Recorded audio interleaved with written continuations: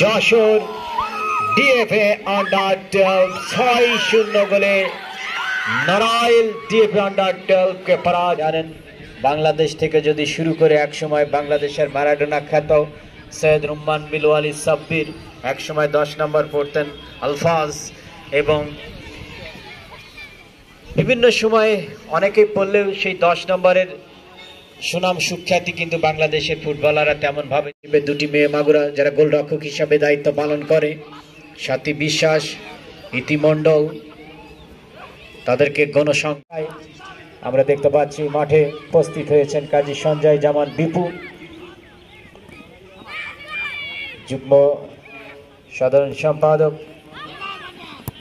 যুগ্ম সম্পাদক, জেলা ক্রীড়া সংস্থা মাগুরা, একই সাথে যিনি সদর উপজেলা ক্রীড়া সংস্থার সাধারণ সম্পাদক।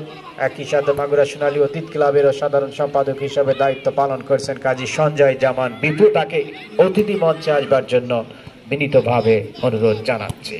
এই মুহূর্তে অবশ্য বল চলে গেল। বাফুপের প্রতিনিধি হিসাবে দুজন এসছেন। যেন ফারুক হোসেন শূন্য গোলে পরাজিত করে গ্রুপ চ্যাম্পিয়ন হয়ে এএফসি আন্ডার সেভেন্টিনের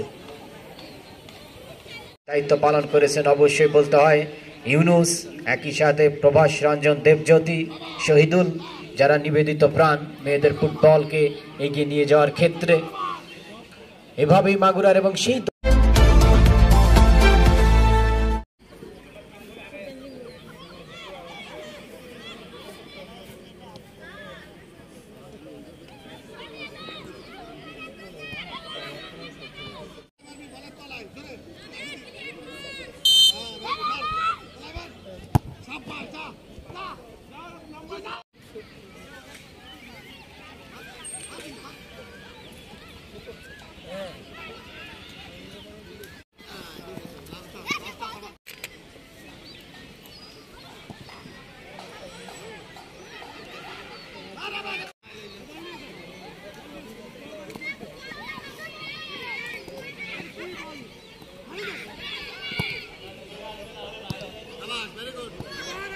বাঁশি বাজালেন সঙ্গে সঙ্গে যশোর ডিএফএ আন্ডার টুয়েলভ ছয় শূন্য গোলে নারায়ণ ডিএফএ আন্ডার টুয়েলভকে পরাজিত করে সলিউশন